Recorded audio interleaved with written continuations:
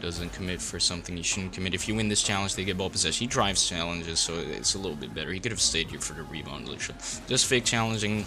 Now we have a free ball. Like, I got literally got rid of the threat there by just driving up and driving away, right?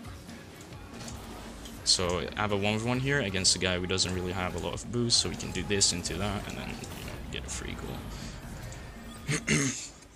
Coming back to Pro RL soon, um... It, the only thing that would get me back into RL is if I uh, get a team I want to play with.